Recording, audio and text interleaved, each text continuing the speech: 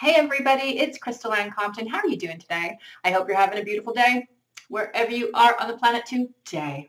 I am about to head out to run some errands looking like a straight up hobo. Whatever, wearing my husband's cut off cami pants, which don't even fit me and fall down and stuff. I don't care. You should see me in my real life, people. I live as comfortably as possible because why would I bind myself up in all kinds of things just to walk around the planet without being able to breathe or to speak? No, I ain't got no makeup on. I think I brushed my hair. I could be wrong, but I'm comfortable. I want to live in the flow of it all. Do you know what I'm saying? So I'm about to leave. I'm about to go do some errands looking like a fool in these streets, but I wanted to talk to you about talk to you about something very, very important. See, something is happening in my life right now that is so exciting. It is so exciting.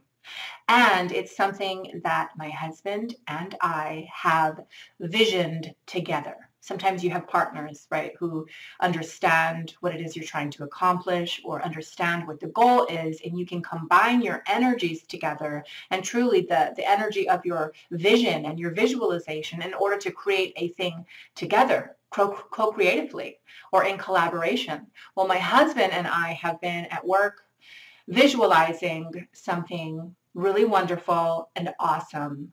But what I wanted to tell you is we haven't told anybody about it. We haven't told anybody about it and we won't tell anybody about it until it's established, until it is, as Neville Goddard likes to say, a concrete fact. It's been outpictured.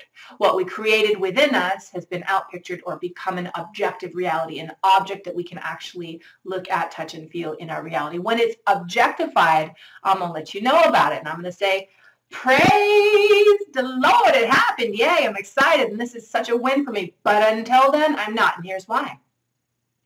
When you create something in the imaginal mind, with your imagination, your visualization, you, you develop it, you feel it, you live within the visualization of it. When you give it life through feeding it your emotions and your vibration, what you're actually doing is creating a form, an energetic pattern and a form. You just can't see it with your human eyes, but your intention has created it. Your feelings have created it. And the more you you sit with that visualization, the more you develop it, the more energy and, and good vibes that you pour into it, the more this form, this pattern begins to grow and the more opportunity it has to become outpictured in your reality. However, if you run out and tell 10 people about this cool thing you're visioning for yourself, this wonderful opportunity that you're going to create in the ether and that you can just see it right now and I'm developing it. I can see it. This is what it looks like. If you tell people that, you give them the opportunity to hook their energy to that. By describing that thing that you're trying to create, by sharing your personal information about this thing with other people, you are opening yourself up to having that pure creation muddied or modified by the energy of someone else. For example, we all know people who, when we say, hey, I've got this bright idea, are the first to say, yeah, well, I don't think that's going to work because X, Y, and Z. Or we might know people who will, who would say, yeah, I hear what you're saying, but you remember the last time you tried something fantastical and you fell on your face and you failed? That's energy. That's a transmission that they're giving to you. Still, there are others who will hear about our bright idea or the thing we want to create, and they'll act like they're supportive, but unconsciously, this might actually trigger them people who haven't achieved in their own life a level of success that they wanted to often hear about someone else's success or what someone else is inspired to create and have a reverberating negative reaction within themselves and it's because they haven't done it themselves or they don't feel worthy enough to do it on their own. And here you are chasing your dreams. And while they might smile and say, well, wow, that's great, inside they're signaling they're sending you this energy, and this energy is being hooked into that thing that you just pointed their interest to, your creation, your beautiful visualization, the dream that you have for your life. You have to be really careful. You have to be really careful about who you share this kind of information with. I recommend nobody at all. the only person I share things with is my husband.